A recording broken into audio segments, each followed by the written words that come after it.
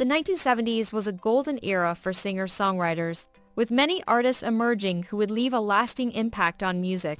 Some of the greatest singer-songwriters from this decade include Bob Dylan already an established figure in the 1960s, Dylan continued to influence the 70s with albums like Blood on the Tracks. Joni Mitchell known for her poetic lyrics and unique voice, Mitchell's albums like Blue are considered classics. Paul Simon both as part of Simon and Garfunkel and his solo career, Simon's work, such as the album Still Crazy after all these years, had a profound impact.